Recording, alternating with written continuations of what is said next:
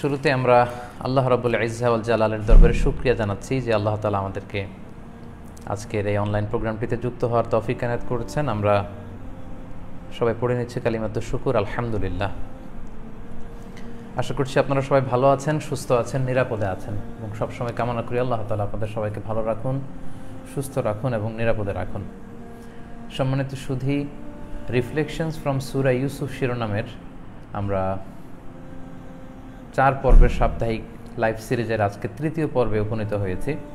এর আগে আমরা বিগত দুইটি শুক্রবারে দুইটি পর্ব সম্পাদন করেছিলাম। আপনাদের খেয়াল থাকবে বা মনে আছে আপনাদের যে প্রথম পর্বে আমরা সুরা ইউসুফের নাজিলের প্রেক্ষাপট, এই সুরা নাজিলের সময়কাল সুরা ইউসুফের সেন্ট্রাল থিম কি, তারপর ইউসুফ আলি ইসলামের সংক্ষিপ্ত জীবনী এবং সুরা ইউসুফকে আমরা পাঁচটা সেকশনে ভাগ করেছিলাম।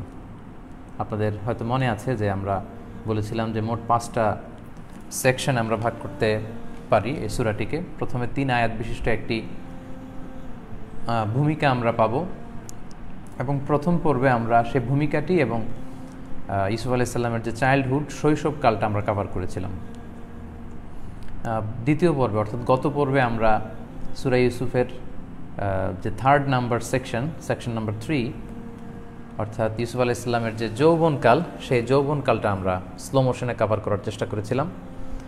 এবং আজকে আমরা বেসিকলি ইউসুফ আলহ ইসলামের অ্যাডাল্টহুড অর্থাৎ ওনার পূর্ণ বয়সকালে কি কি ঘটনা প্রবাহ ঘটেছিল, কোন কোন পরিস্থিতির মধ্য দিয়ে উনি গিয়েছিলেন, এই বিষয়গুলো আমরা জানবার চেষ্টা করব।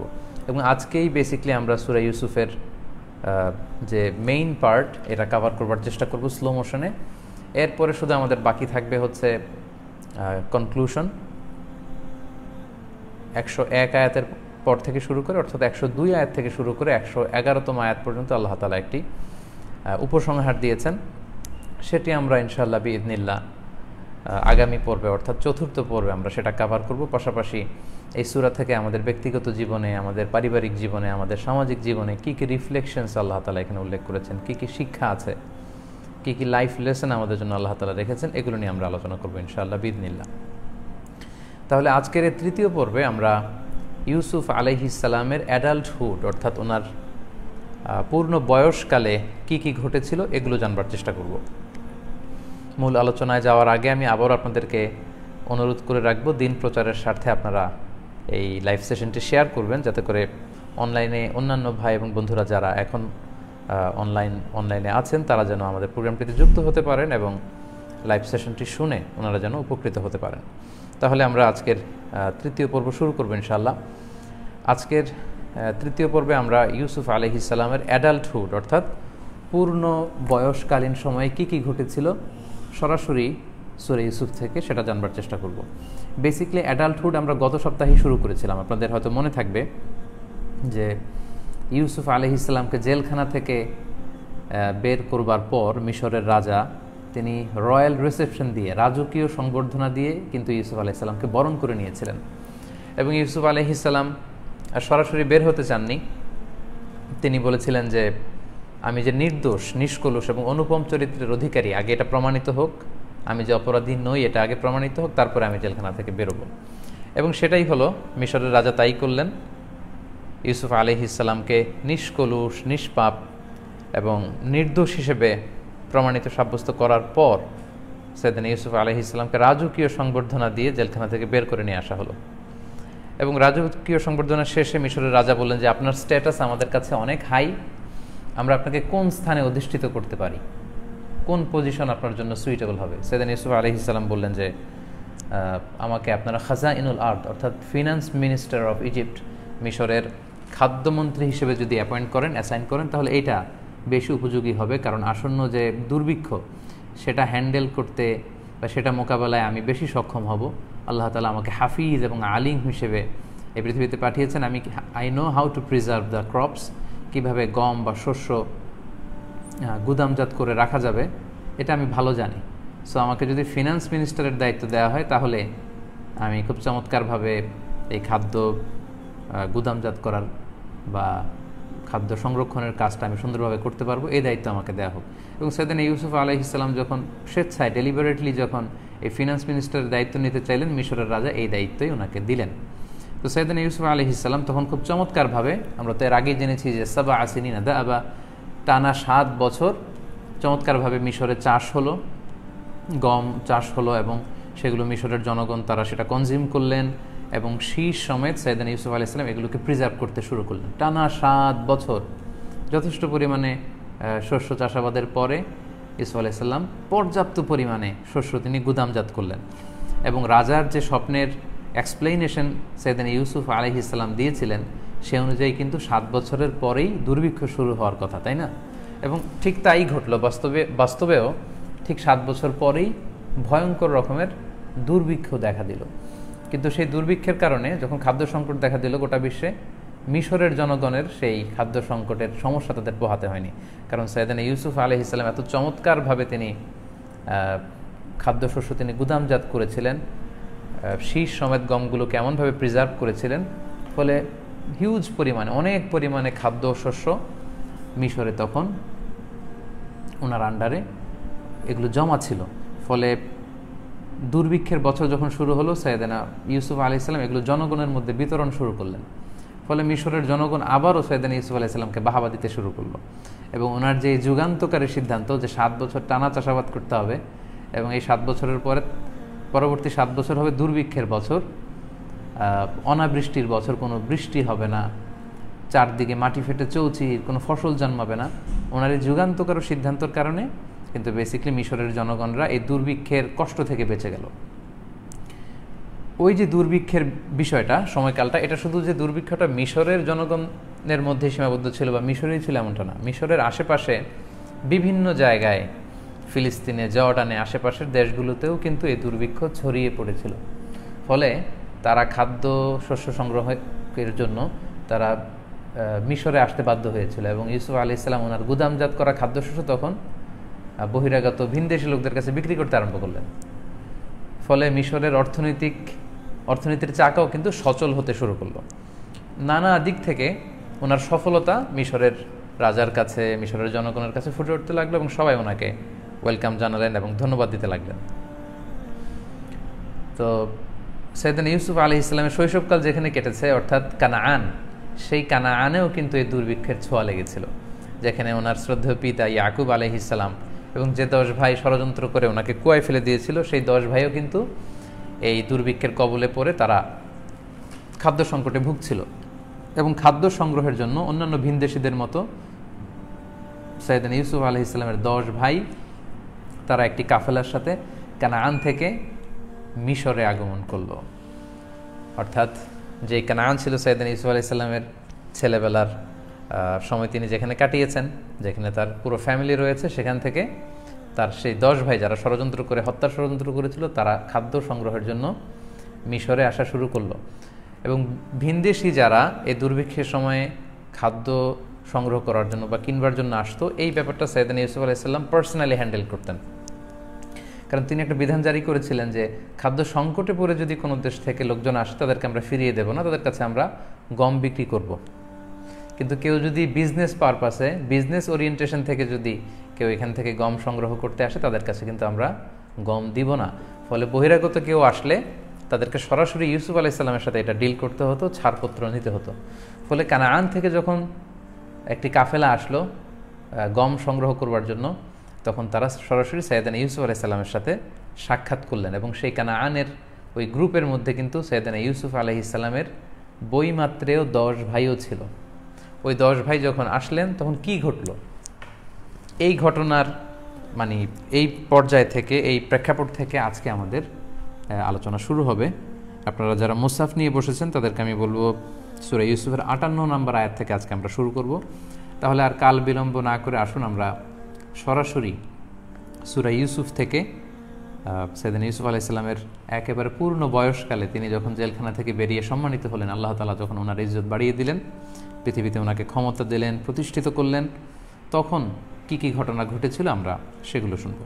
আউদুবিল্লাহমিন শৈথান রজিম বিসমিল্লাহ রহমান রহিম।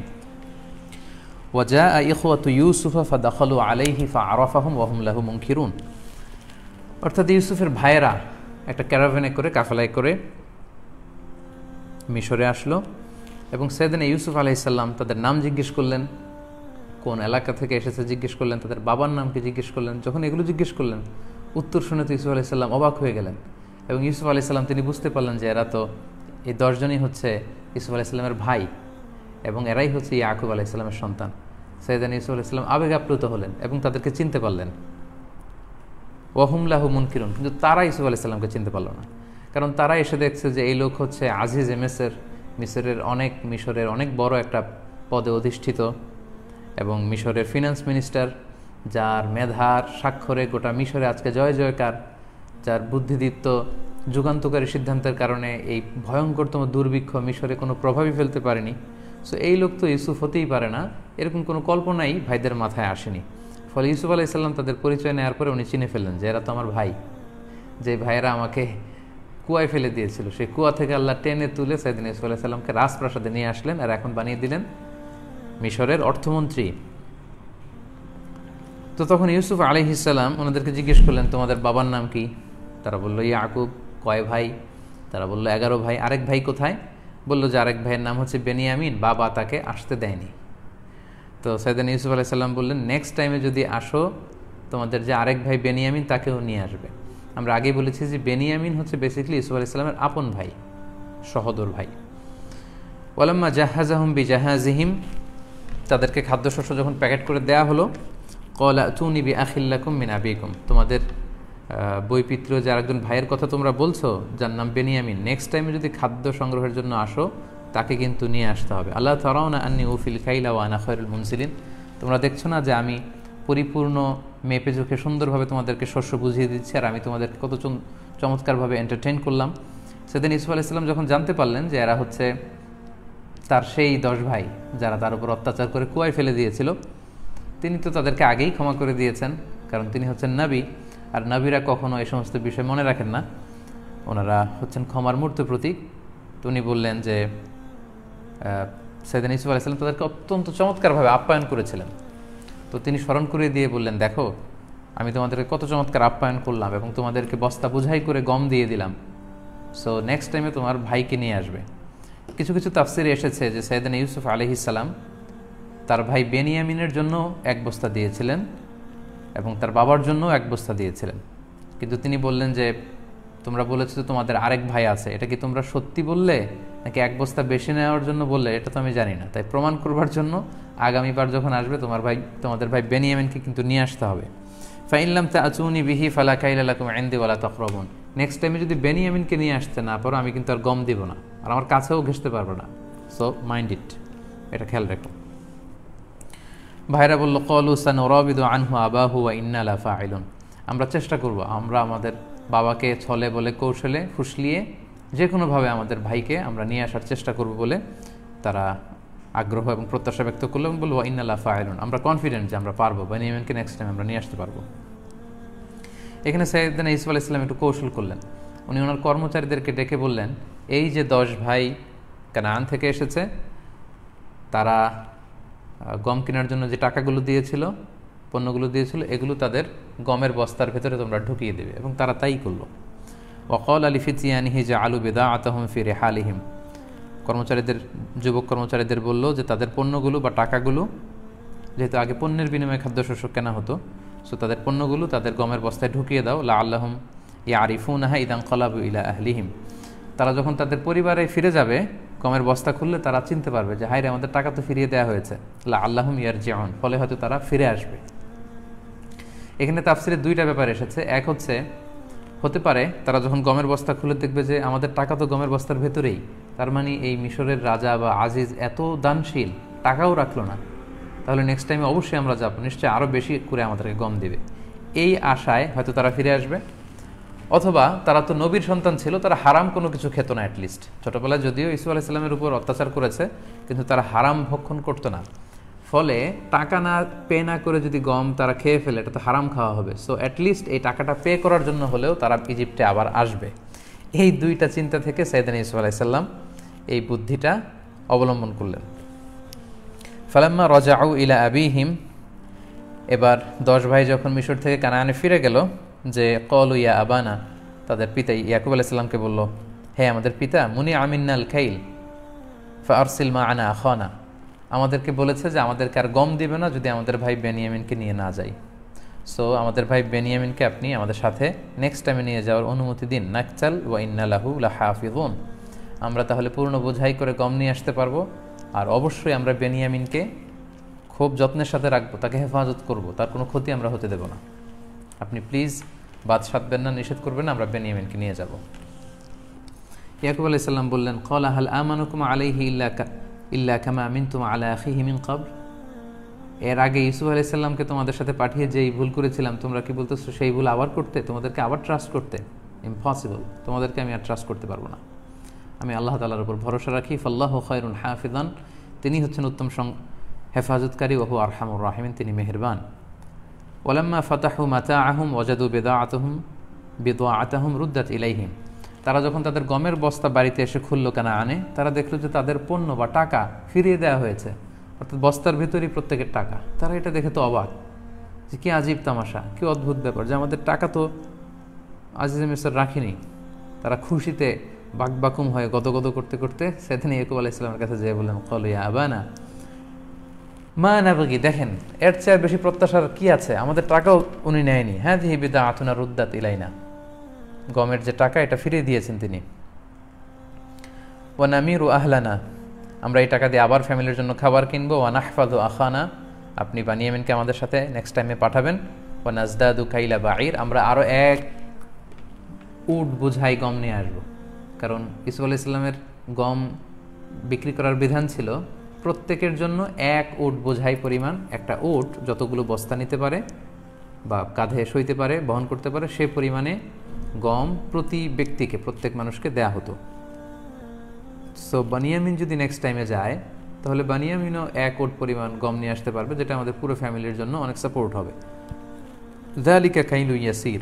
আর এরকম বস্তায় বস্তায় গম দেয়া, এটা আজিজে মেসরের জন্য ভেরি সিম্পল ম্যাটার তিনি চাইলেই দিতে পারেন। তারা খুব খুশি হলো ভাইয়েরা যে আমাদের টাকাও রাখল না। তারা যখন বারবার ইয়াকুব আলাইসাল্লামকে ফুসলাতে লাগল কল আলান উরসিলাহু মা আকুম হাত্তা তুনি মাউফিকাম মিনাল্লাহ। ইয়াকুব আলাইসাল্লাম বললেন, আমি এক শর্তে দিতে পারি, তোমরা যদি আল্লাহর নামের কসম কাটো, প্রতিশ্রুতি দাও আমাকে যে লাতা তুন্নানি বিহি ইল্লা আইয়ু হাফা বিকুম। যে তাকে তোমরা সহি সালামতে আবার গম মিশর থেকে নিয়ে এসে আমার হাতে পৌঁছে দিবে বা বুঝিয়ে দিবে। এই এই ওয়াদা যদি আমাকে দিতে পারো, তবে তবেই কেবল আমি বানিয়ামিনকে তোমাদের হাতে সোপর্দ করতে পারি। তবে হ্যাঁ ইল্লা আই হাতবিকুম তোমরা যদি বিপদে পড়ে যাও, তোমাদের যান বাঁচানোই সংকটে পড়ে যায়, সেটা ভিন্ন কথা। ফালাম্মা আতাউহু মাউসিকাহুম কল আল্লাহ আলামা নাকুল ওয়াকিল। তারা যখন প্রতিশ্রুতি দিল সৈয়দিনা ইয়াকুব আলাইহিস সাল্লামকে তখন ইয়াকুব আলাইহিস সাল্লাম বললেন যে, আমরা যে প্রতিশ্রুতি নিলাম এবং গ্রহণ করলাম এ ব্যাপারে আল্লাহ তালাই হচ্ছেন ওয়াকিল, তিনিই হচ্ছেন দেখভালকারী তিনি হচ্ছেন রক্ষণাবেক্ষণকারী। এবার এক বছর শেষে দ্বিতীয় বছর আবার ইউসুফ আলাইসাল্লামের সেই দশ ভাই বানিয়ামিনকে নিয়ে মিশরের উদ্দেশ্যে রওনা হলেন। সেদিন ইকুব আলাইসাল্লাম তাদেরকে নসিহত করলেন, ওয়াকাল ইয়া বানি আল্লাহ তাদুলুমিন বাবি ওয়াহিদিম ওয়াদুলুমিন আবু আবি মোতাফার রাখা ইয়াকুব আলাইসাল্লাম উপদেশ দিলেন যে হ্যাঁ আমার প্রিয় সন্তানেরা, তোমরা মিশরে এক দরজা দিয়ে ঢুকো না, ভিন্ন ভিন্ন দরজা দিয়ে ঢুকবে। তো তৎকালীন সময়ে মিশরের যে এন্ট্রেন্স ছিল, অনেকগুলো এন্ট্রেন্স ছিল। বিভিন্ন দিকে বিভিন্ন ঢুকার এন্ট্রি গেট ছিল। তো সাইদানা ইয়াকুব আলাইসাল্লাম বললেন, তোমরা এক দরজা দিয়ে ঢুকবে না। একাধিক এন্ট্রেন্স দিয়ে ঢুকবে। এক, একটা প্রবেশ পথ দিয়ে তিনজন, তিন ভাই, আরেক পথ দিয়ে দুই ভাই, আরেক পথ দিয়ে চার ভাই, এভাবে এগারো জন তোমরা ভাগ ভাগ হয়ে ঢুকবে। যাতে করে তোমাদেরকে দেখে কেউ সন্দেহ না করে। যেহেতু তোমরা কেন আনের অধিবাসী, দেখতে অনেক উঁচু লম্বা, দশ ভাইয়ের চেহারা, সুরত প্রায় কাছাকাছি একরকম। তোমাদেরকে একসাথে দেখলে হয়তো স্পাই মনে করতে পারে যে বহিরাগত ভিনদেশি কোনো গোয়েন্দা এরা হতে পারে বা তোমাদেরকে কোনো ক্ষতি করতে পারে। So take the precaution and take different entry তোমরা ভিন্ন ভিন্ন এন্ট্রি নিবে, একই এন্ট্রি দিয়ে তোমরা ঢুকবে না। এটা তিনি নসিহত করলেন। ওমা অগ্নি আঙ্কুমিন আল্লাহমিন শাই। তারপর তিনি এটাও বললেন যে, আল্লাহর যদি ভিন্ন ফায়সালা থাকে সেটা তো আর আমি কিছু করতে পারব না জাস্ট আমি নসিহত করার সেটাই করলাম। ইনিল হুকম ইল্লা আলিল্লাহ ফায়সালা আল্লাহ করে থাকেন, আলাইহি তাওয়াক্কাল তো আল্লাহ তালার উপরে আমি তাওয়াক্কুল করি ও আলাইহি ফালিয়া তাওয়াক্কালিল মোতাওয়াক্কিলুন। আর তাওয়াক্কুলকারীরা আল্লাহ তালার উপরে তাওয়াক্কুল করা উচিত। ওলাম্মা দাখলু মিন হাইস আমারহম আবুহুম, মা কানা ইউগনি আনহুম মিন আল্লাহ মিন শাই ইল্লা হাজাতান ফি নাফসি আকুবা কদাহা।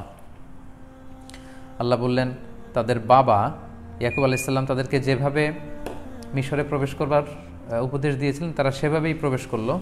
কিন্তু আল্লাহর যে ফায়সালা, সিদ্ধান্ত, সেটা থেকে তাদেরকে ভিন্ন দিকে আর নেওয়া গেল না। জাস্ট ইয়াকুব আলাইসাল্লাম ছেলেদের কল্যাণকামী হয়ে কিছু উপদেশ করেছিলেন, এটাই জাস্ট বাস্তবায়ন হলো, এটাই জাস্ট হলো, কিন্তু ফায়সালা মূলত আল্লাহ যেটা চাচ্ছেন সেটাই হবে। আল্লাহ তালা তারপর সেদিন ইয়াকুব আলি ইসলামের প্রশংসা করে বললেন ও ইন্নাহু লাদু আইলমিন লিমা আল্লাম না ইয়াকুব ইয়াকুব, সে হচ্ছে খুবই জ্ঞানী, প্রাজ্ঞ একজন মানুষ। কারণ তাকে আমি এই বিষয়গুলো শিক্ষা দিয়েছি, ওলাকিন আকফরান্না সিলাই আলামুন যেগুলো অনেক মানুষই জানে না। ওলাম্মা দাখলু আলা ইউসুফ আওয়া ইলাইহি আখাহু কলা ইন্নি আনা আখুক, ফালা তাবতা ইস বিমা কানু ইয়ামালুন। দ্বিতীয়বার যখন দশ ভাই যে সাইদানা ইউসুফ আলহি ইসলামের সাথে সাক্ষাৎ করলেন, ইউসুফ আলহি সাল্লাম কৌশল করে ওনার আপন ভাই বানিয়ামিনকে ওনার কাছে নিয়ে গেলেন। নিয়ে পরিচয় দিলেন, বললেন যে, বানিয়ামিন, আমি হচ্ছি ইউসুফ, তোমাদের সে হারানো ভাই। এই কথা বলে দুই ভাই আবেগে আপ্লুত হয়ে পড়লেন, একে অপরকে জড়িয়ে ধরে কাঁদলেন এবং বললেন যে, ফালা তাবতাইস বানিয়ামিন, আর চিন্তা করো না, দুঃখ করো না, হতাশ হয়েও না, বিমা খান উই আমালুন বাকি ভাইয়েরা আমার উপর যেই অত্যাচার করেছে, জুলুম করেছে, এ ব্যাপারে চিন্তিত হয় না, বা তোমার সাথেও এতদিন যাবৎ তারা যে আচরণ করেছে, এ ব্যাপারে তুমি চিন্তিত হয়েও না। এবং বুঝিয়ে বললেন যে, তোমাকে আমি আর যেতে দেবো না কেন আনে? আমি কৌশল করে আমার সাথেই মিশরে তোমাকে রেখে দেবো।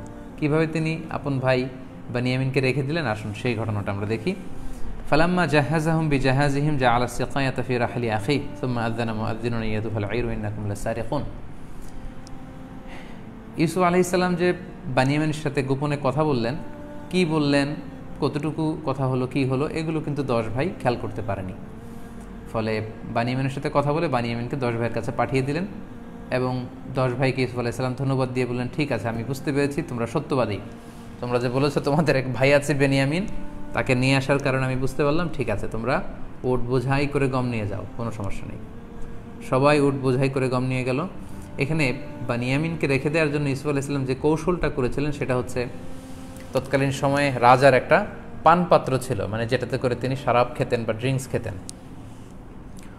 ওই পানপাত্রটা ছিল ইজিপ্টের একটা আইকনিক ব্যাপার, যেখানে খুব ডিজাইন করা, রাজার জন্য স্পেশালি এটা মেড করা হয়েছিল কাস্টম মেড তো ইসুফ আলাইসাল্লাম কৌশল করে এই পানপাত্রটা তার ভাই বানিয়ামিনের জন্য যে গমের বস্তা প্রিপেয়ার করা হয়েছে, ওইটার ভিতরে ইচ্ছা করে তিনি স্বেচ্ছায় কৌশল করে তিনি এই পানপাত্রটা ঢুকিয়ে দিয়েছেন, ওনাকে চোর প্রমাণিত করার জন্য। তারপরে ঘটনাটা, মজার ঘটনা কি ঘটে আসুন আমরা দেখি। ইসমাল ইসলামের দশ ভাই এবং বেনিয়ামিন এগারো জন যখন গমের বস্তা নিয়ে মিশর থেকে বিদায় নিয়ে কানানের উদ্দেশ্যে রওনা হলো, হঠাৎ করে ইসুফ ইসলাম থেকে পাঠানো একজন আহ্বানকারী খলার এসে বলল আইয়াতুহাল আইর, ও দ্য ক্যারাভান ইন্নাকুমলা সার এখন তোমরা হচ্ছে চোর, থামো, তোমরা চুরি করেছ। কলু আকবালু আলহিমাদা তাফকেদুন, তারা এসে বলল, তোমরা কি হারিয়েছ? যে কারণে তোমরা বলছো যে আমরা চুরি করেছি। কলু ইসুল্লাহ সাল্লামের স্টাফরা বলল, নাফকেদু সুয়া আল মালিক, আমরা রাজার পানপাত্র হারিয়েছি, যেটাতে তিনি পান করেন। একটা খুব মিশরের আইকনিক একটা জিনিস, যেটা রাজার জন্য স্পেশালি মেড করা হয়। পুরো কাফেলাকে থামানো হলো অলিমান জা আবিহি হেমলো বা আইর ওয়া আনাবিহি জাইম কর্মচারীদের যিনি প্রধান অফিসার, তিনি বললেন, তফতিশ করো, অর্থাৎ তল্লাশি চালাও। কারণ এতক্ষণ পর্যন্ত এই পানপত্রটা ছিল, যখনই এই কানায়নের কাফেলা গম নিয়ে চলতে শুরু করেছে, আমরা সেই পানপাত্র আর খুঁজে পাচ্ছি না। নিশ্চয়ই এদের মধ্যে চোর আছে। খুঁজে বের করো। যে বের করে দিতে পারবে, তাকে এক বস্তা এক্সট্রা উঠ দেওয়া হবে।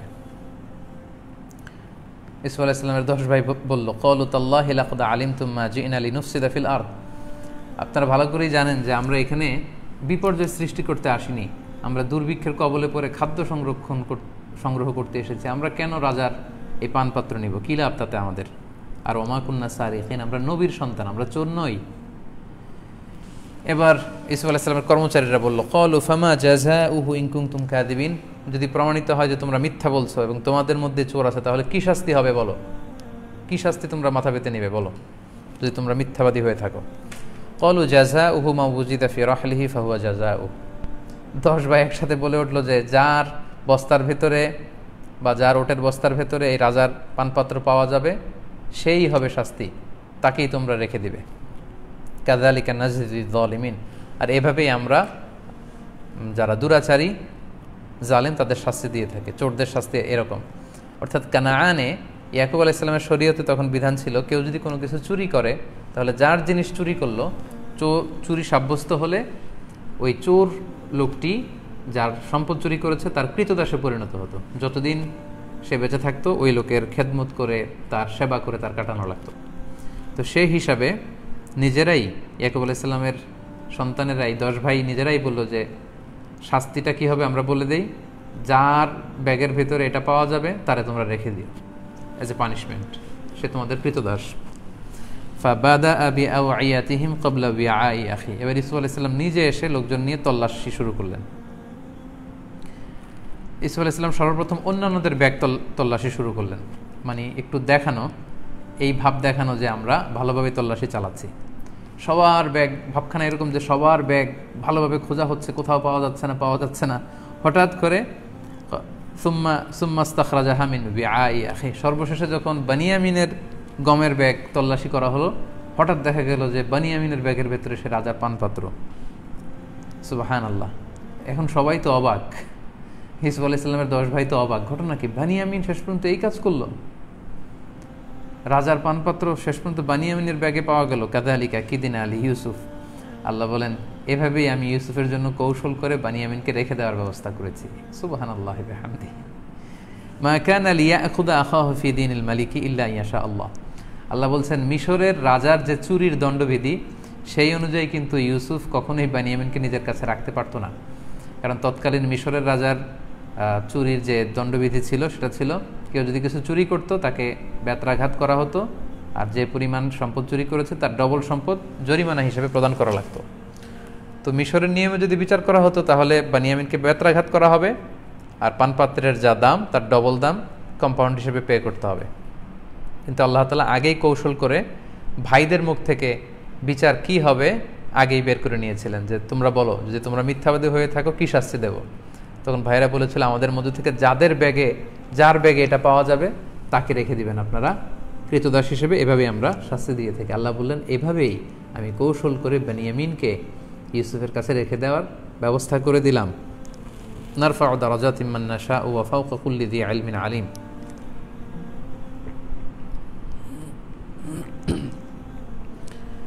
হ্যাঁ আমি যাকে সম্মানিত করতে চাই তার মর্যাদা যার আমি বাড়াতে চাই, আমি বাড়িয়ে দিয়ে থাকি। ওফাউকা কুল্লি দিয়ে আলমিন আলিম।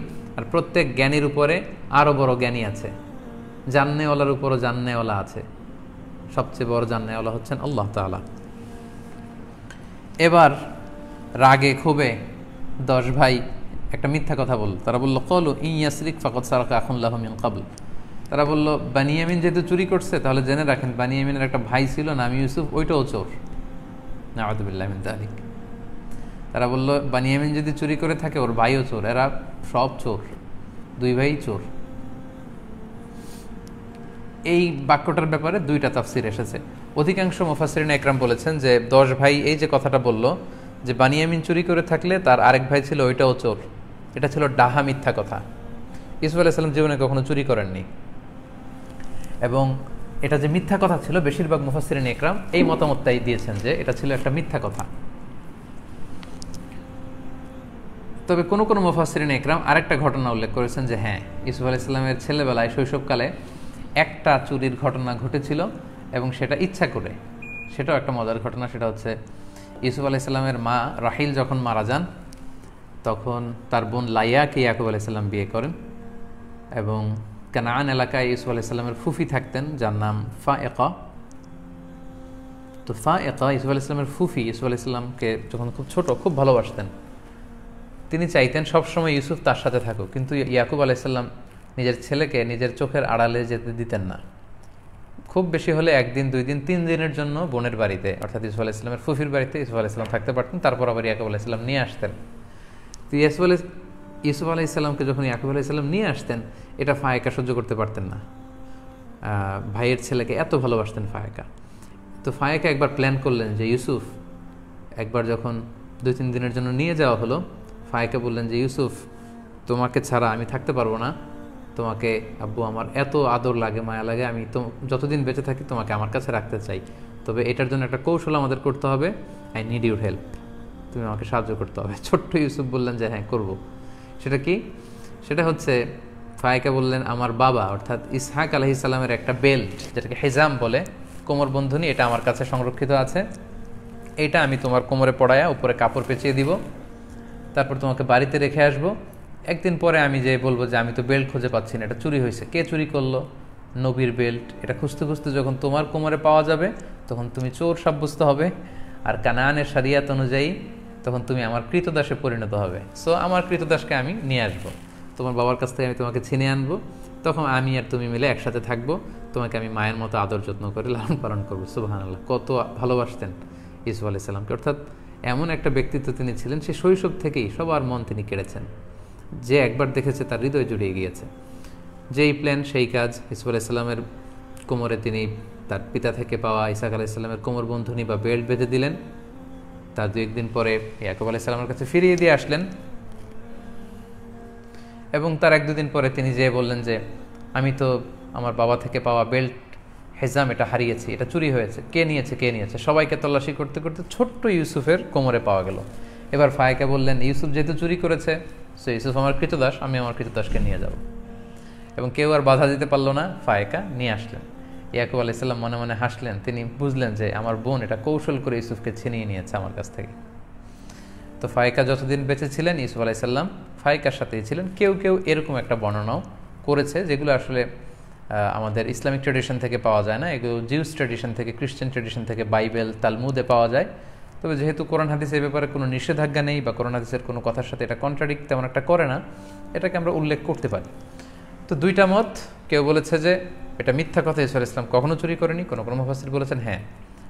চুরি করেছিল, এটা আসলে প্রকৃত অর্থে চুরি নয়, এটা একটা কৌশল, ঘটনাটা তো আপনাদের সাথে শেয়ার করলাম, আপনারা বুঝতে পেরেছেন। তখন ইউসুফ আলাইসাল্লাম বললেন যে, কল আন্তুম শারুম মাকানা।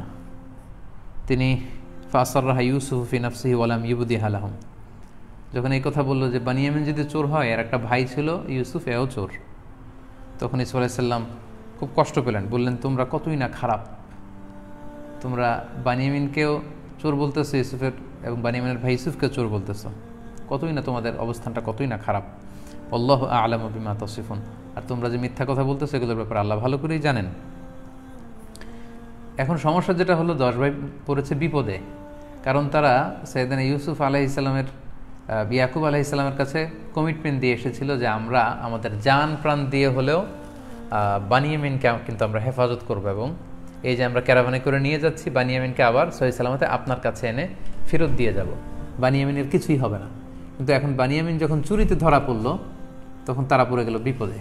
এবং তাদের ভাষ্য অনুযায়ী বানিয়ামিনকে কৃতদাস হিসেবে মিশরের মধ্যে রাজার কাছে বা আজিমেশের কাছে রেখে আসা লাগবে। তারা মহাবিপদে পড়ে গেল। কল, ইয়া ইউহাল আজিজ, তারা বলল, ইন্নালাহু আবান শেখান ক্যাবিরন যে হে আজিজে মেসের বানিয়ামিনের বাবা মানে আমাদের পিতা ইয়াকুব, তিনি অত্যন্ত বৃদ্ধ, বয়োবৃদ্ধ একজন মানুষ। বানিয়ামিনকে বুকে রেখে, বুকে ধরে তিনি বেঁচে আছেন। বানিয়ামিনের কিছু হলে তিনি বাঁচবেন না। ফাখুদ আহাদানা মাকানা। আপনি একটা কাজ করেন বানিয়ামিনকে দিয়ে দেন, আমাদের দশ ভাইয়ের মধ্যে থেকে যাকে পছন্দ বানিয়ামিনের বদলে তাকে রেখে দেন। আমরা প্রত্যেকেই এই শাস্তি মাথা পেতে নিতে রাজি। বানিয়ামিনকে কৃতদাস না বানিয়ে আমাদের কাউকে বানান। আমরা ওয়াদা দিয়ে এসেছি বানিয়ামিনকে বাবার হাতে পৌঁছে দিতেই হবে। ইন্না নারাকা মিনাল মহসিনিন। আমরা তো আপনাকে সদাচারী হিসেবে জানি, আপনি খুব ভালো লোক, এতটুকু আপনি করেন। কলা মা আদ আল্লাহ মা আদ আল্লাহ আন্না আখুদা ইল্লামা ওয়াজদনা আনা আইন্দা ইসু আলাইসাল্লাম বললেন নাউজুবিল্লা বলো কি? যে চুরি করেছে, যার ব্যাগে ওটা পাওয়া গেল, তাকে না রেখে অন্য কাউকে যদি রাখি, এটা তো ইন্না ইদাল্লা দলিমন তাহলে তো আমি জালিম হয়ে যাব। আমি তো ন্যায়পরায়ণ শাসক। আমি তো এই অন্যায় করতে পারি না। কোনোভাবেই যখন দশ ভাই ইসু আলাইসাল্লামের কাছ থেকে বানিয়ামিনকে নিয়ে যাওয়ার কোনো কৌশল খুঁজে না পেল ফালাম মাস্তাই আসু মিনহু, যখন তারা নিরাশ হলো যে বানিয়ামিনকে নেওয়া যাচ্ছে না, খলাসু নাজিয়া। দশ ভাই এক পাশে আলাদা সলা পরামর্শ করছে কনসালটেশন করছে যে কী করা যায়?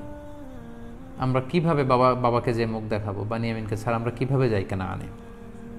কলা খ্যাবি রুহুম তাদের মধ্যে যে সবচেয়ে সিনিয়র বড়, কোনো কোনো তাফসির এসেছে, তার নাম হচ্ছে রুবেল।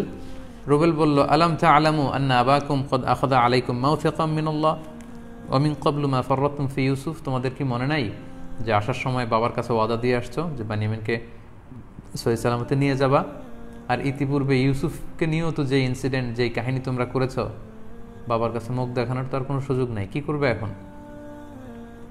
এর আগে ইউসুফের ব্যাপারে যে অন্যায় করেছ, সেটা তো আছেই। আবার নতুন করে যদি বানিয়ামিনের কারণে এই ঘটনা ঘটে, বাবার বদয় পরে আমরা মরেই যাব। ফালান আবরাহাল আরদা হাত্তা ইয়াদান আলী আবি। বড় ভাই রুবেল বলল, তোমরা যাও। যেহেতু কাফেলা তো আর আমাদের জন্য বসে থাকবে না, কাফেলা যেহেতু কানানের উদ্দেশ্যে রওনা হবে, তোমরা নয় ভাই চলে যাও, আমি এখানে থেকে যাই। আমি মুখ দেখাতে পারব না আব্বার সামনে, ইয়াকুবের সামনে। আমার বাবা যতক্ষণ না আমাকে ক্ষমা না করে অনুমতি না দেয় আসার, আমি ফিরবো না কেন আনে। আও ইয়াহকুম আল্লাহ হলি অথবা আল্লাহ যদি অন্য কোনো ফয়সলা করেন, কোনোভাবে যদি আমি বলে কয়ে যদি আমি আজিজে মেসারের কাছ থেকে যদি বনিয়ামিনকে নিয়ে যেতে পারি। হয় বানিয়ামিনকে নিয়ে ফিরবো, না হলে আমি ফিরবো না। তোমরা যাও। ওহু খয়রুল হাকিমিন, আল্লাহ তালা উত্তম ফয়সলাকারী।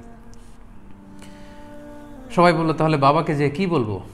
বড় ভাই বলল, যা ঘটেছে তাই বলবে। এর যে ইলা আবিকুম। বাবার কাছে যাও, ফাকুলু যে বলো, ইয়া আবানা ইন্নাবনাকে সারফ। আপনার ছেলে চুরি করেছে। কারণ বাকি দশ ভাই তো তাই দেখেছে যে পানপাত্র তো বানিয়ামিনের ব্যাগ থেকেই পাওয়া গেল। ওমা শাহিদিনা ইল্লা বিমা আলিম না তবে আমরা সরাসরি চুরি করতে দেখি নাই। তবে আমাদেরকে এটা জানানো হয়েছে যে পানপাত্র হারানো গেছে, আর খোঁজে বানিয়ামিনের ওখানেই পাওয়া গেছে, কিন্তু বানিয়ামিন চুরি করতেছে, এটা আমরা সরাসরি দেখি নাই। ওমা কুন্নালিল গইবে হাফিদিন। আর অদৃশ্যের ব্যাপারে তো বাবা আমাদের কোনো হাত নেই। অদৃশ্যের খবর তো আপনি জানেন। আপনি যদি বিশ্বাস না করেন ওয়াস আলিল করিয়াতাল্লাদি কুন্না ফিহা। আমরা মিশরে যে এলাকায় অবস্থান করেছি, চাইলে লোক পাঠিয়ে জিজ্ঞেস করে আসেন যে ঘটনাটা সত্য কিনা। অথবা ওয়াল্লা আইরল্লাতি আখবাল্লা ফিহা। অথবা যে কাফেলার সাথে আমরা গিয়েছিলাম, সেই কাফেলার লোকও তো এই ঘটনা ঘটেছে। তাদের ব্যাগও চেক করা হয়েছিল। তাদেরকে আপনি জিজ্ঞেস করেন যে, কথা সত্য কিনা? ও ইন্না আলা সদেকুন। বাবা, নিশ্চয়ই আমরা সত্য বলছি, আমরা মিথ্যা বলছি না। এমন বিপদে পড়েছে দশ ভাই। কলা বাল সাউ্লাত লাকুম আংফুসুকুম আমরা। তারা ফিরে যে ইয়াকুব আলাইসাল্লামকে যখন কথা শোনালেন, তিনি মানতে পারলেন না। বললেন, আবারও ইউসুফের মতো তোমাদের মন যেরকম চায়, এরকম আমাকে গল্প শোনাচ্ছ? আমি দিতে চাইলাম না, জোর করে বানিয়ামিনকে তোমরা ছিনিয়ে নিলে। আর এখন বলছো, এই ঘটনা? সবরুন জামিল। তোমাদের কাছে আমার কিছু চাওয়ার নেই, পাওয়ার নেই। আমি আল্লাহ তালার উপর ধৈর্য ধারণ করলাম। উত্তম ধৈর্য অবলম্বন আমি আগেও করেছি, এখনও তাই করব। আসল্লাহ আইয়া আতিয়ানি বিহিম জামিয়ান এবং আমি নিরাশ নই, আমি হতাশ নই, আমি হাল ছেড়ে দিইনি। আমি এখনও আশা রাখি আল্লাহ তালা আমার ইউসুফকে, আমার বানিয়ামিনকে একসাথে করে আমাকে আবার ফিরিয়ে দিবেন। এবং পরবর্তীতে তাই ঘটবে, আমরা দেখব। ইন্নাহু আলিমুল হাকিম। আর তিনি তো মহাজ্ঞানী, তিনি প্রজ্ঞাবান। ওয়াতাওয়াল্লাহ আনহুম, তিনি রাগে, ক্ষোভে, শোকে, দুঃখে তাদের থেকে মুখ ফিরিয়ে নিলেন। ওকলা ইয়া আসাফা আলা ইউসুফ। এবং তিনি আফসুস করতে লাগলেন, বললেন, হাই ইউসুফ হাই ইউসুফ। এতদিন বানিয়ামিনকে, ইউসুফের আপন ভাই বানিয়ামিনকে তিনি কাছে আগলে রেখে ইউসুফের কষ্ট তিনি ভুলে গিয়েছিলেন। এখন বানিয়ামিনকেও হারালেন। বানিয়ামিনকে হারিয়ে ইউসুফ আলাইসাল্লামকে হারানোর সেই কষ্ট, সেই আগুন আবার দাউ দাউ করে জ্বলে উঠল। তিনি আবার আক্ষেপ, কান্না জুড়ে দিলেন। ইউসুফ, হাই ইউসুফ, আমার ইউসুফ, আবার কান্না শুরু করে দিলেন। অবিয়দ্দত আইনা কাঁদতে কাঁদতে ওনার চোখ সাদা হয়ে গেল মানে অন্ধ হয়ে গেলেন উনি। মিনাল হুজনি ফাহুয়া কাদিম চিন্তায়, দুঃখে তিনি অন্ধ হয়ে গেলেন। সবাই ওনাকে বলতে আরম্ভ করল কল উতাল্লাহি তাফতা উতাদকুরু ইউসুফ হাত্তা তাকুন হারাদানা তকুন মিনাল হালিকিন। এভাবে ইউসুফ ইউসুফ করে কাঁদতে কাঁদতে আপনি তো আপনার জীবনটাই শেষ করে দিবেন। কোথায় আপনার সেই ইউসুফ? সেই কবে নেকড়ে তাকে খেয়ে ফেলেছে ছোট্টবেলায়? আজ এই তিরিশ বছর পর আপনি ইউসুফ ইউসুফ করে কেন কাঁদছেন? ইউসুফের উপর কাঁদতে কাঁদতে তো আপনি নিজেকেই শেষ করে ফেলবেন।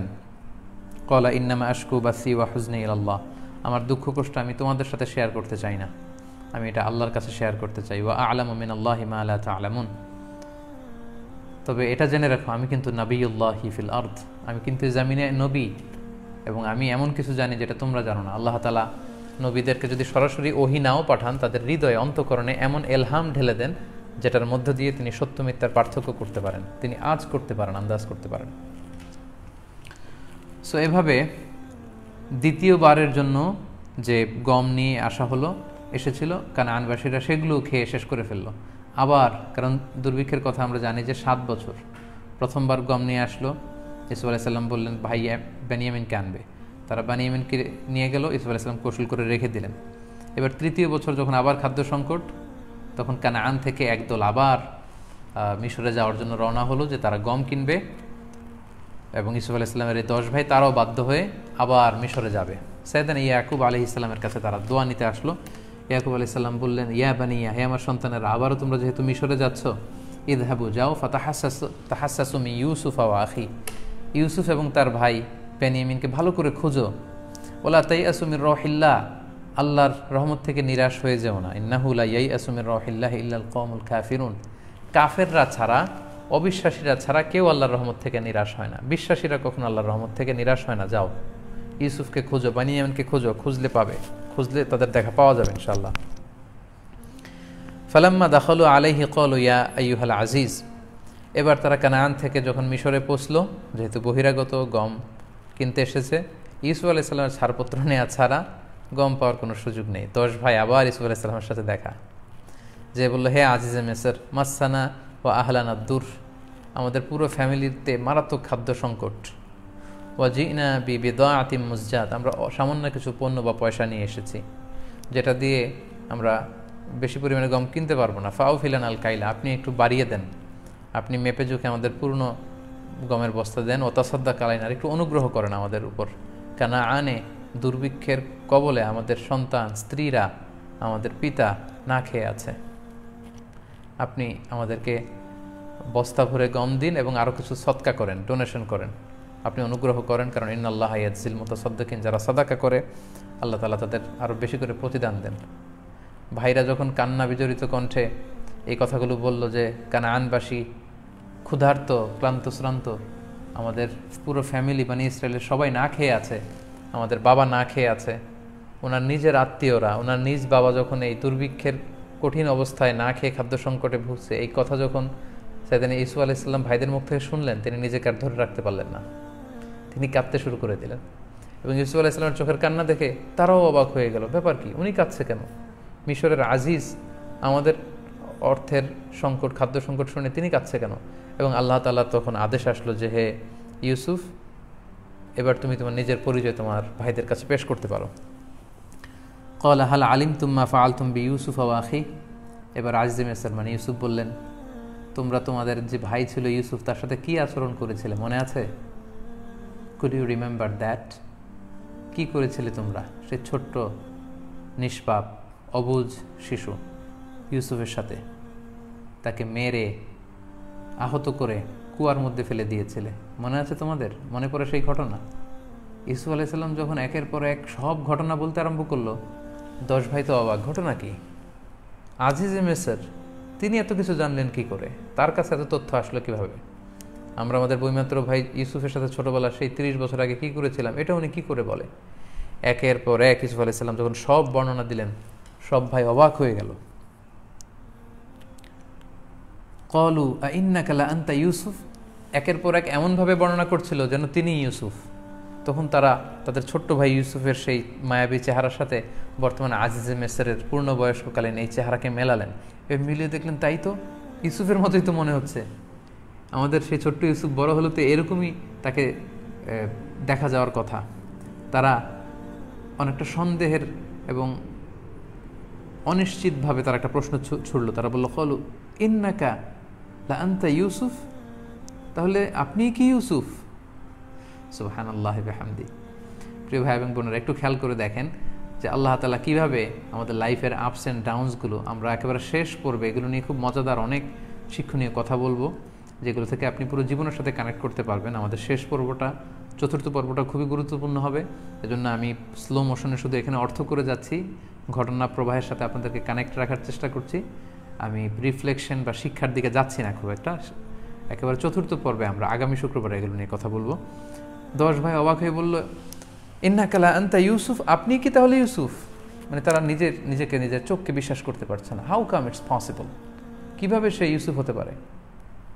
ইটস কোয়াইট ইম্পসিবল তারা নিজেকে বিশ্বাস করতে পারছে না। সাহেদান ইউসুফ আলাইসাল্লাম বানিয়ামিনকে ডেকে আনলেন। একসাথে দুই ভাই দাঁড়িয়ে বললেন, আনা ইউসুফ ও হাদা আখি। হ্যাঁ আমি হচ্ছে ইউসুফ আর এই বানিয়ামিন হচ্ছে আমার আপন ভাই। আমার আখি, আমার ভাই বানিয়ামিন এই হচ্ছে আমার ভাই আর এই হচ্ছে আমি ইউসুফ। দশ ভাই, তারা অবাক হয়ে গেলেন। তারা বিশ্বাস করতে পারলেন না যে এটাও কি সম্ভব? কদমান আল্লাহ আলাইনা সেদিন ইসু আলাইসাল্লাম বললেন হ্যাঁ সম্ভব। আল্লাহ তালা আমাদের উপর অনুগ্রহ করেছেন। তিনি অনুগ্রহের মালিক।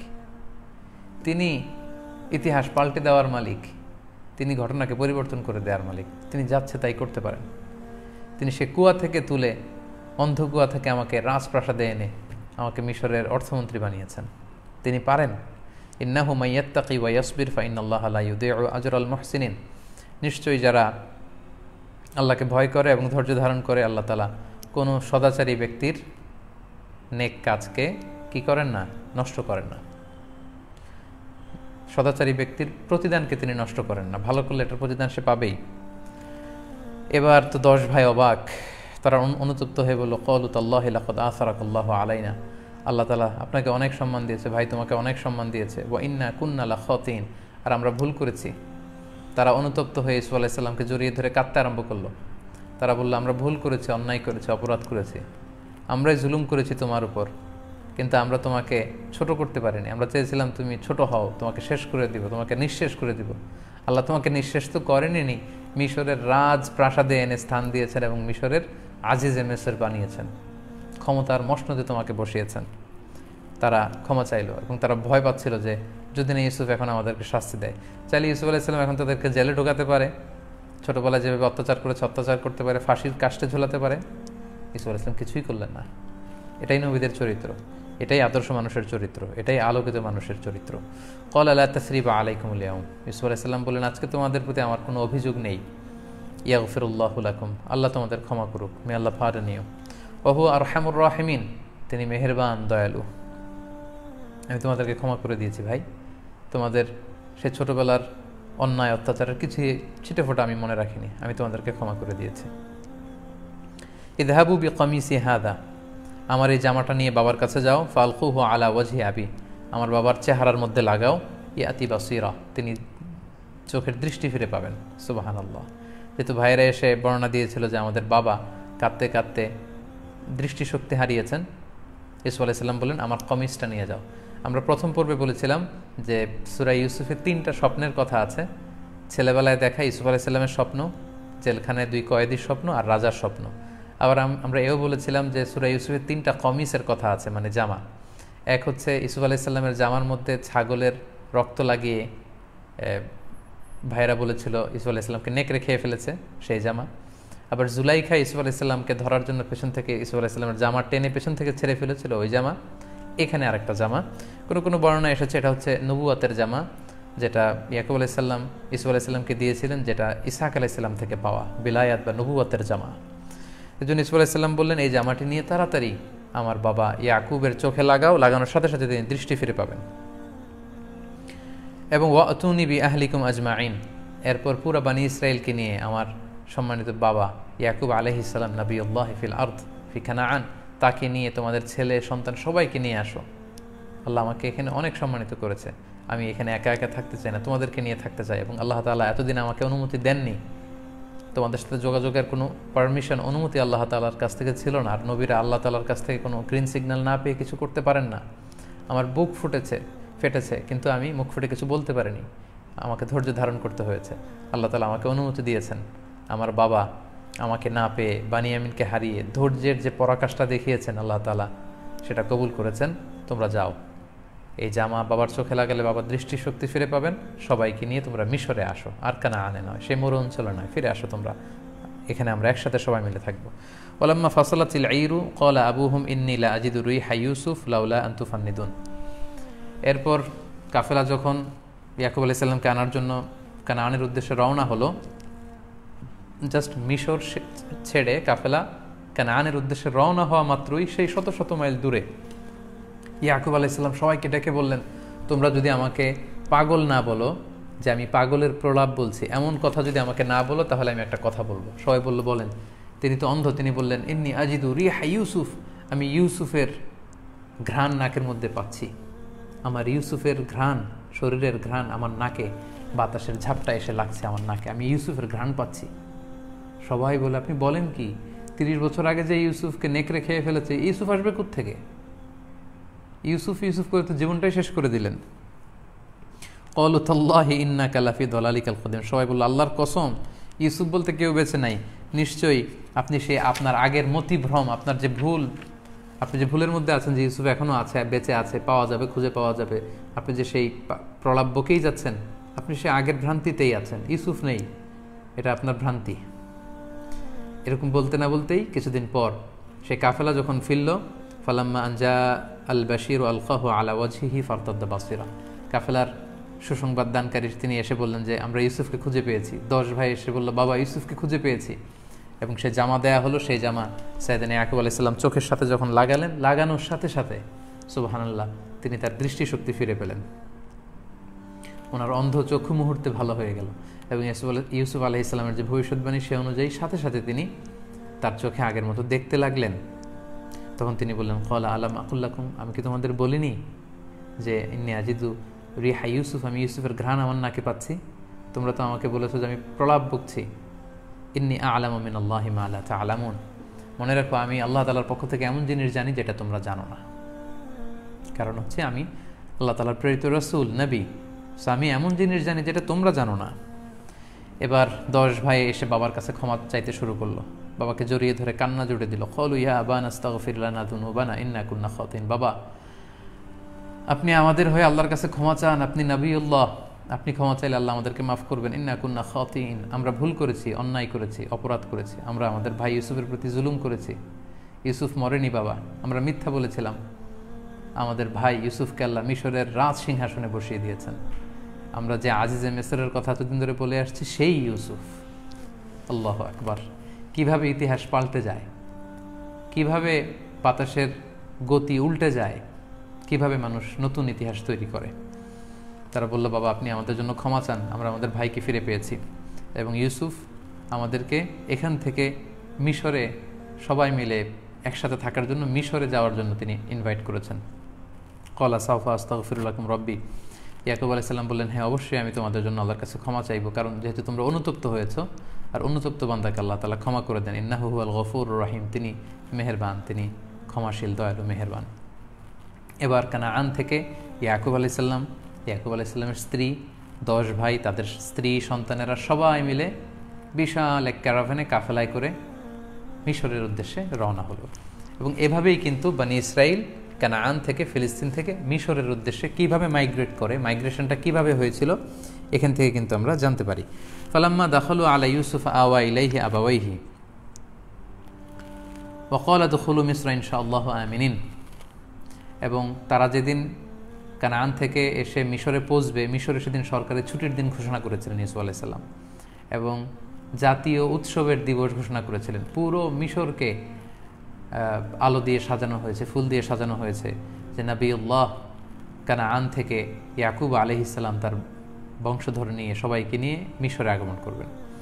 রাজকীয় রিসেপশন দিয়ে সৈয়দান ইউসুফ আলহিসাল্লাম তাদেরকে রিসিভ করলেন এবং পিতা পুত্রের সেই মিলন, পিতা পুত্রের সেই সাক্ষাৎ, সেটা যে কতটা হৃদয় বিদারক ছিল, সেটা যে কতটা মায়াবী ছিল, সেটা যে কতটা ভালোবাসার ছিল, সেটা যে কতটা মানে অসাধারণ ছিল, সেটা ভাষায় আসলে বর্ণনা করা সম্ভব না। প্রায় তিরিশ বছর পরে সেদিন ইউসুফ আলহিসাল্লাম ওনার পিতা ইয়াকুব আলাইসাল্লামকে জড়িয়ে ধরলেন। পিতা পুত্রের কান্নায় আশেপাশের পুরো কান্না বিজড়িত একটা দৃশ্যের অবতারণা ঘটল, সবাই কাঁদল। এবং সেদিন ইউসুফ আলাইসাল্লাম বাবাকে, মাকে কাছে টেনে নিলেন। কোনো বর্ণনা এসেছে ওনার মা বানিয়ামিনকে জন্ম দেওয়ার সময় মারা যায় এবং তার খালা লাইয়াকে ইয়াকুব আলাইসাল্লাম বিয়ে করেছিলেন। খালা যেহেতু মায়ের স্থলে, সেহেতু বাবা মা এভাবে। কোনো বর্ণনায় তার মা ইন্তেকাল করেননি ইসু আল্লাহ ইসলামের মা। সো বাবা মাকে কাছে টেনে নিলেন আর বললেন, উদুখুল মিশ্রা ইনশাল্লাহ আমিনিন। নিরাপত্তার সাথে আপনারা মিশরে প্রবেশ করুন। ও রফা আবাওয়াইহি আলাল আরশি ওয়া খরুল্লাহ সুজাদা বাবা মাকে তিনি আরশে বসালেন, সম্মান দিলেন।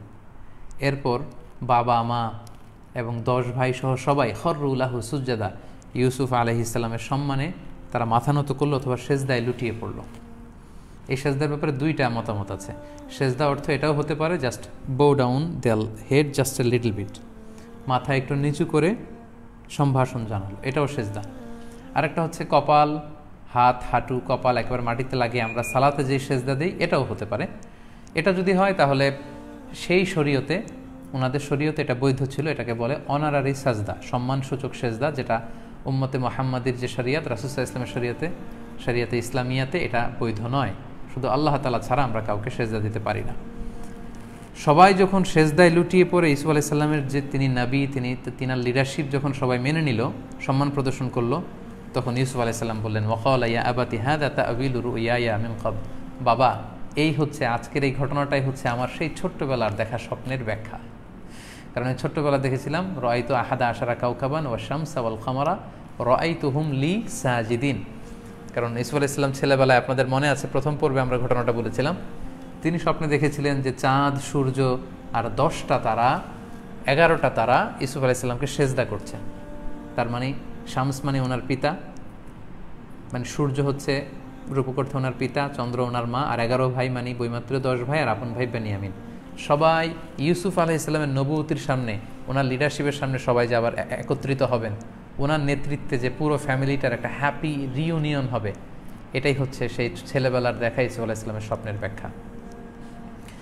তো সবাই যখন মাথা নুইয়ে, বাবা, মা, সব ভাইয়েরা যখন মাথা নুইয়ে ইসুল ইসলামকে নবতির স্বীকৃতি এবং শ্রদ্ধা জানাচ্ছিলেন ইসুল ইসলাম বললেন, বাবা, এটাই হচ্ছে আমার ছেলেবেলার দেখা, সেই স্বপ্নের ব্যাখ্যা। কদজা আল্লাহ রব্বি হাক্কা। আল্লাহ তালা সেই স্বপ্নকে সত্যায়ন করেছেন। ওখদ আহসানাবি ঈদ আখরাজানি মিনাস সিজন। এবং জেলখানা থেকে আল্লাহ তালা বের করে আমাকে অনেক সম্মানের একটা স্থানে অধিষ্ঠিত করেছেন। Now am the finance minister of Egypt আমি মিশরের অর্থমন্ত্রী, বাবা। অজা আকুম মিনাল বাদবি মিম্বা আদি আন্নাজাকা শাইতান ও বাইনি ও বাইনি আখওয়াতি। এবং শুধু তাই নয়, আল্লাহ তালা আপনাদেরকে সেই কানানের মরু অঞ্চল থেকে বের করে এনে মিশরের এই সভ্য সমাজে নিয়ে আসলেন। এবং শয়তান যে আমার আমার ভাইদের মধ্যে যে চক্রান্ত করেছিল যে চক্রান্তের ফাঁদে পা দিয়ে আমার ভাইরা আমাকে অত্যাচার করে কুয়ায় ফেলেছিল, এই বিশাল ঘটনা প্রবাহের পরে আল্লাহ তালা আমাদেরকে এই হ্যাপি রিইউনিয়নের সুযোগ দিলেন। পুরো ফ্যামিলি আজকে আমরা একত্রিত হলাম। কেন আন থেকে আমরা এখন মিশরে বসবাস করব। ইন্না রব্বি লতিফুল্লিমাইয়াশা আল্লাহ তালা যার ক্ষেত্রে চান এরকম অত্যন্ত দয়া দেখিয়ে থাকেন। ইন্নাহুল আলিমুল হাকিম। তিনি মহাজ্ঞানী, তিনি প্রজ্ঞাময়। এবার ইউসুফ আলহিসাল্লাম আল্লাহ যে ওনাকে সেই অন্ধকুয়া থেকে, রাজপ্রাসাদে নিয়ে আসলেন, দাসত্ব থেকে রাজত্বের সিংহাসনে বসালেন, বাবাকে আবার পুরো ফ্যামিলি সহ মিশরে আসার সুযোগ দিলেন happy reunion of the family ঘটার সুযোগ করে দিলেন। সেদিন ইউসুফ আলাইসাল্লাম এবার আল্লাহ তালার প্রশংসা করছেন। তিনি বলছেন, রব্বি কদা আতাইতিয়ানি মিনাল মুলক। আল্লাহ, তুমি আমাকে ক্ষমতা দিয়েছ ও আল্লাম তানি মিন তাউিল হাদিস। তুমি আমার কথার মর্মে পৌঁছার তৌফিক দিয়েছ। কেউ কোনো জটিল কথা বললে স্বপ্নের ব্যাখ্যা জানতে চাইলে আমি এটা ব্যাখ্যা করে দিতে পারি। এটা তুমি শিখিয়েছ। ফাতিরাসমাওয়াতিওয়াল আর তুমি আকার জমিনের স্রষ্টা, আন্তা ওয়ালি ফিদ দুনিয়া আখরা, দুনিয়া আখিরাতে তুমি আমার অভিভাবক। তাওয়াফানি মুসলিমা ওয়া আল হেকনি বিসলিহাইন আল্লাহ তোমার কাছে একটাই দোয়া, তুমি তুমি আমাকে ইসলামের সাথে মৃত্যু দিও এবং নেককারদের সাথে তুমি আমাদের হাসর করো। সুবাহ এই দোয়াটা আপনারা করবেন। তাওয়াফানি মুসলিমাও ওয়া আল হেকনি বিসলিহীন এটা সৈয়দানা ইউসুফ আলাইসাল্লামের স্পেশাল দোয়া। তিনি বলেছিলেন, আল্লাহ তাওয়াফানি মুসলিমান। আমার যখন মৃত্যু হবে, আমি যেন ইসলামের উপর মৃত্যুবরণ করতে পারি। ও আল হেকিনী বিসলিহীন, এবং সৎ কর্মশীলদের সাথে যেন আমার হাসর হয়, তাদের সাথে যেন আমি মিলিত হতে পারি। সম্মানিত সুবি শুধু খুব সংক্ষেপে এভাবে সাইদানা ইউসুফ আলাইসাল্লামের সেই চমৎকার আহসানুল খসাস দ্য বেস্ট এবং স্টোরিজ, যত ঘটনা হতে পারে পৃথিবীতে, আল্লাহ বলেছেন এটা সবচেয়ে শ্রেষ্ঠ ঘটনা বা স্টোরি। এভাবেই শেষ হলো। একশো এক আয়াত পর্যন্ত আজকে আমরা কাভার করলাম। একশো দুই থেকে শুরু করে একশো এগারো পর্যন্ত এই এগারোটি আয়াত মূলত, এই দশটি আয়াত মূলত উপসংহার। এই উপসংহারটি ইনশাআল্লাহ আজিজ আমরা আমাদের সর্বশেষ লাইভ সিরিজে, অর্থাৎ আগামীকাল শুক্রবারে, চতুর্থ পর্বে আমরা এই উপসংহারটি টেনেই পুরো একশো এগারো আয়াত বিশিষ্ট এই সুরাটির সারমর্ম কী সার নির্যাস কী শিক্ষা কী, রিফ্লেকশন কী, লাইফ লেসন কী আছে, আমরা খুঁটে খুঁটে বিভিন্ন ঘটনা প্রবাহের মধ্য থেকে আমাদের জীবনের জন্য পাথেও নেওয়ার চেষ্টা করব, শিক্ষা নেওয়ার চেষ্টা করব ইনশাল্লাহ আশা করছি লাইভগুলো দেখে আপনারা উপকৃত হচ্ছেন। সুরা ইউসুফ সম্পর্কে খুব সহজে সাবলীল আপনারা কথামালাগুলো আপনারা বুঝতে পারছেন এবং আশা করি আপনারা শেয়ার করছেন। যারা দেরিতে যুক্ত হয়েছেন, তাদেরকে আমি আবারও রিকোয়েস্ট করব যে আপনারা লাইভটি শেয়ার করবেন। শেয়ার করলে যেটা হয়, অনেক ভাই বোনরা এই লাইভগুলো থেকে ওনারা লাইভগুলো শুনতে পারেন এবং উপকৃত হতে পারেন। সম্মানিত সুধীপ বাংলাদেশে প্রচণ্ড গরম পড়েছে। আমরা পত্রপত্রিকায় দেখতে পাচ্ছি যে প্রচণ্ড তাপদাহে মানুষের নাভিশ্বাস এবং বিগত প্রায় পঁচিশ বছরের গরমের যে রেকর্ড, সেই রেকর্ডকে ছাড়িয়ে তাপমাত্রা এতটা উচ্চে চলে যাচ্ছে যে মানুষের জন্য রোজা রাখা কষ্ট হয়ে যাচ্ছে। সো এমনি প্রচণ্ড গরম, আবার রোজা, এর মধ্যে মানুষের অত্যন্ত কষ্ট হয়ে যাচ্ছে। সো আমাদের উচিত আল্লাহ তালার কাছে বৃষ্টি নাজিলের দোয়া করা। আমি সবাইকে বলব যে আপনারা ইফতার পরবর্তী সময়ে সাহারির আগ পর্যন্ত বেশি বেশি পানি পান করুন, যাতে করে আমাদের ডিহাইড্রেশনের সমস্যা না হয়ে যায়। এবং আল্লাহ রাসুলসাহ ইসলাম প্রচণ্ড গরম এবং তাপদাহ থেকে বাঁচার জন্য আল্লাহ তালার কাছে বৃষ্টির জন্য দোয়া করতেন। আমরা যেন বেশি বেশি বৃষ্টির জন্য দোয়া করি। সাহিব বুখারিতে এসেছে আল্লাহ রাসুলসাহ ইসলাম তিনি বৃষ্টির জন্য দোয়া করতেন আল্লাহ মাস্কিনা আল্লাহ মাস্কিনা আল্লাহ মাস্কিনা অর্থাৎ, হে আল্লাহ, আপনি আমাদেরকে বৃষ্টি দিন, বৃষ্টি নাজিল করুন। এবং এটাকে ইস্তেস্কা বলে, ইস্তেস্কার সালাতও তিনি পড়তেন। ইস্তেস্কার সালাতে রাসুলসাহ ইসলাম দুই হাত তুলে দোয়া করতেন। এবং দোয়া করতে করতে করতে করতে আমরা তো এইভাবে হাত তুলি। আল্লাহ রাসুলসাহ ইসলাম হাত তুলতে তুলতে একেবারে অনেক উপরে হাত তুলে ফেলতেন। ফলে হাত্তা ইয়রা বায়াদ ইবজাইহি রাসুলসাহ ইসলামের বগলের শুভ্রতা সাহাবারা দেখতে পেতেন। সো এই দোয়াটা যেন আমরা করি আল্লাহ মাস্কিনা আল্লাহ মাস্কিনা আল্লাহ মাস্কিনা হে আল্লাহ, আপনি রহমের বৃষ্টি নাজিল করুন। সহি মুসলিমের বর্ণনা এসেছে রাসুসাহ ইসলাম পড়তেন আল্লাহ আগিফনা আল্লাহ আগিফনা আল্লাহ আগিফনা অর্থাৎ হে আল্লাহ, আপনি বৃষ্টি নাজিল করুন, বৃষ্টিতে আমাদেরকে সহায়তা করুন, সাহায্য করুন। সুনানে আবু দাউদের বর্ণনায় আরেকটি চমৎকার ফ্রেজ এসেছে, যেটা পরে রাসুসাহ ইসলাম বৃষ্টির জন্য দোয়া করতেন। সৈয়দনা জাবির রাদিল্লাহ তালাহুর বর্ণনা এসেছে আল্লাহ হাবিবসাহ ইসলাম বলেন আল্লাহ মাস্কিনা গইফান, মুগিফান মারিয়ান মুরিয়ান আন গয়রা দারিন আজিরান গয়রা আজেল। অর্থাৎ হে আল্লাহ, আপনি আমাদেরকে বৃষ্টি দিয়ে সাহায্য করুন, বৃষ্টি নাজিল করুন। আপনি মুষলধারে বৃষ্টি দিয়ে আমাদেরকে সিক্ত করে দিন। যে বৃষ্টিতে আমাদের জমিন উর্বর হবে। আমাদের গবাদি পশুগুলোর জন্য ঘাস, লতা পাতার ব্যবস্থা হবে। এবং যে বৃষ্টিতে আমাদের জন্য উপকার থাকবে, কোনো বিপর্যয়, কোনো ক্ষতি থাকবে না।